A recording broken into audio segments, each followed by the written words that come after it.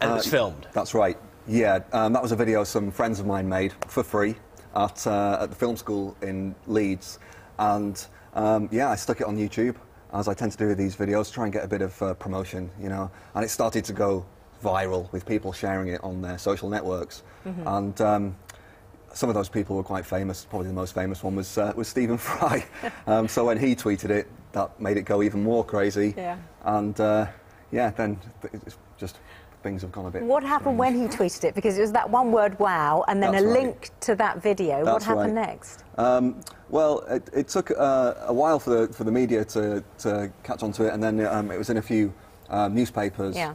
Um, so, for me, it's just been, uh, been very strange to kind of watch it all unfold, and I, I don't feel like it's really, really me that it's happening to, to be honest. And what, so, so, on what level was your? Were you a full-time musician yeah, yeah.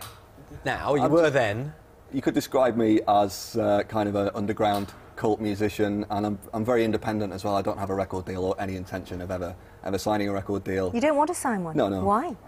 Um, I have uh, a lot of kind of ethical and political issues with the, the commercial music industry, and um, as an independent musician, um, they often they often market their artists as being independent when they're they're, they're really not, and um, I don't I don't know. I also don't like to compromise myself artistically, whether that means I'm better or my music's better or worse. I don't know. But you uh, want to be able to control uh, your music and, and how you put it out there. That's Yeah. exactly right. Yeah. Well, uh, Stephen Fry has given his verdict, and uh, you've brought the guitar along. I Are have. This you is gonna give Wilma. us- This is Wilma. Oh, And Wilma looks like it's had a bit of a life. She Yeah, has now had a bit she of a does life. have feelings, so Yes. please be careful what you say. Has she had a bit of a life? She has. She's been all over the world with me, and um, yeah, she's uh, she's, but she's still beautiful to me. She's still beautiful to Would me. Would you play something for us now? Yeah, I'll, I'll, I'll play you a little bit so you get an idea. Uh, here we go. Um, so this song's called Passion Flower.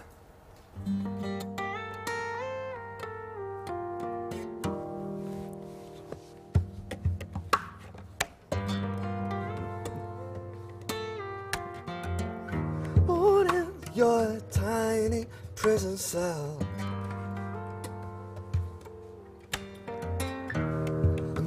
Times smaller than you are. One single drop and you're risen up.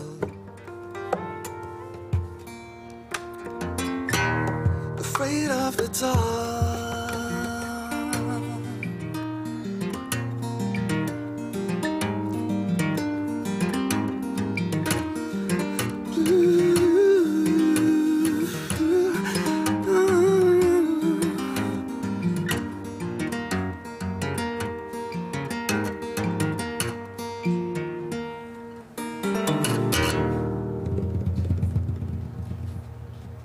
Well, that's lovely, John, and very, if I may say so, unconventional. I Yeah. now understand.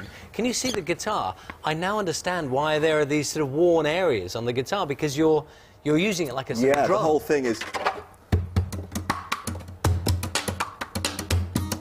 People don't realise there's a whole great. there's a whole drum kit inside the guitar. that's And, uh, fantastic. when, did you, when did you learn to do that? How did you learn to do that? well, um, my first guitar teacher when I was uh, four years old, he was um, a classical player, but you also played flamenco guitar, and in, in that style, it's perfectly normal to play uh, to play drums on the guitar, Yeah. basically. And so it's always just been a part of uh, the way that I've played guitar. Um, it's actually becoming more popular that, that style now. Um, it's a it's a bit of a fad, so I'm, I'm a bit of a beneficiary of that. Um, so whether the fad lasts and I'm, people still like me or not, I don't Well, know. Well, you've got extraordinary talent. You really Uh, have. thank Thank, you so very much much for for coming coming. in. Thanks for having me. Hey, Good Love. luck. Thank Good you. luck with the rest of your career. That's John Gomm.